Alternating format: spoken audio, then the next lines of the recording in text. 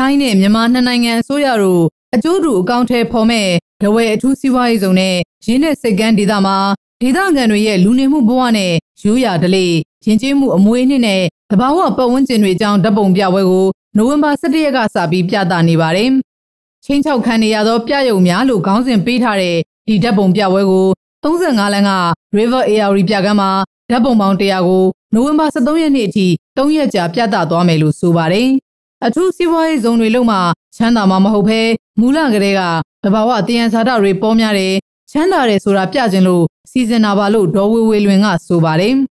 အမားတို့ကကြောက်ဒီဓာတ်ပုံတွေထဲမှာပြထားတော့ဟိုအိမ်တွေပါနေလဲပါပါတယ်ပေါ့နော်ပါတော့အိမ်တွေကကြီးကောင်းကြီးမယ်တေးကောင်းသေးတယ်ဒါလေးကအဲ့ဒီနောက်ွယ်က behind the scene ကဘာပြောချင်တာလဲလို့ဆိုတော့အမားတို့ရဲ့အာတဘာဝတန်ရန်စာတာတွေ natural resources တွေအမားတို့ပေါ်များတယ်ချမ်းသာတယ်အမားတို့တတိအဲ့လိုဖြစ်တဲ့အကြောင်းကိုပြောချင်တာအထူးစီးပွားရေးစုံကြီးလောက်တော့မှဟိုချမ်းသာမှာမဟုတ်ဘူးကိုယ့်စီမှာငကိုကလေးကချမ်းသာပြီးသားကိုရီးရဲ့တဘာဝတန်ရန်စာတာတွေအဲ့လောက်ကိုပေါ်များပြီးသားကြွယ်ဝပြီးသားကိုပြချင်တဲ့အတွက်ကြောင့်မို့ဒီလိုတက်ပုံစာအုပ်တွေလုပ်ဖြစ်တာပါ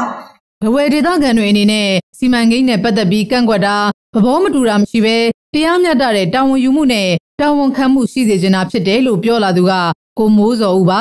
ဘဝဒေသကယဉ်ကျေးမှုနဲ့တဘာဝပတ်ဝန်းကျင်တွေကိုအခြားသူတွေတည်ထားနားလည်တတ်ဖို့လိုပါတယ်လို့ဓပုံဆရာကပြောပါတယ်အဲ့ဒီစီမံကိန်းပေါ်မှာဒေသခံတွေသဘောထားတော့ဗါလဲဆိုတော့လုံးဝကက်ကွဲတယ်ဆိုတာမရှိဘူးလုံးဝသဘောတူတာမရှိဘူးတကယ်လို့ဖြစ်လာလို့ရှိရင် ရင်ဆိုင်ရမှာဒါပေမဲ့ကျွန်တော်တို့အဓိကလိုချင်တဲ့ဟာတော့ဗါလဲဆိုတော့တောင်းဝန်ယူမှုတောင်းဝန်ခံမှုပေါ့အဲတခုခုလုပ်ရင်လုပ်သွားတဲ့ပုံမှာပြန်ပြီးတော့တောင်းဝန်ယူစေချင်တာပေါ့ဖြည့်ရှင်းပေးစေချင်တယ်အဲအဲ့လိုမျိုးတွေတော့ဖြစ်ချင်တယ်ဗါလဲဆိုတော့လူဆိုတာရင်ဆိုင်ရမှာလုံးဝမလုံးနဲ့လို့ပြောလို့မရဘူးပြောပိုက်တယ်လည်းရှင်းရှင်းမှရှိအောင်ဒါပေမဲ့တနေ့တော့ကျွန်တော်တို့ကစူးစမ်းပါမယ်ဒါကြီးကိုကျွန်တော်တို့အနေနဲ့ပြောရမယ်ဥမာငါးချက်ထိတဲ့နေရာမှာနှစ်ချက်လောက်အဲ့လိုမျိုးတော့တက်တောင်အောင်ကျွန်တော်တို့ကလုပ်ပါမယ်အဲ့လိုမျိုးစူးစမ်းပါမယ်